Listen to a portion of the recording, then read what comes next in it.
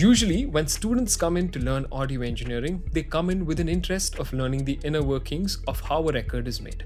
What most people fail to realize is that trying to understand how a song is mixed or mastered before understanding the elementary concepts of physics is like trying to do calculus before even learning basic arithmetic like addition and multiplication. Why is understanding physics of sound important?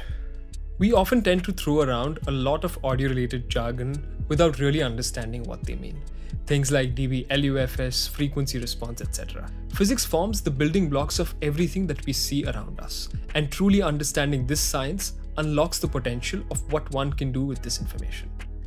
Once you have a true grasp of these concepts, they can not just help you understand what they mean, but also help you make better, more informed decisions of how you can make these things work in a physical sense. Things like why bigger drivers are needed to create low frequency, why more power is required to create those lower frequencies, and how you can use this understanding from a mixing perspective to create space in your mix. I cannot stress enough on the importance of understanding these basic building blocks. Let me explain with an example. We had a student a few years ago who was interested in checking out the different frequency responses of different headphones. Using the understanding of physics and constantly asking questions, he was able to test the frequency response of multiple headphones accurately and compile this data to help his batchmates understand the true color of what those headphones were adding to their mixes.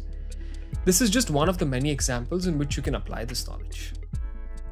We spend time understanding how different microphones work, what the key differences in all of them are, and not just differentiate them from a physical standpoint, but actually spend time in the studio miking various instruments with them and hear the differences in their sonic characteristics.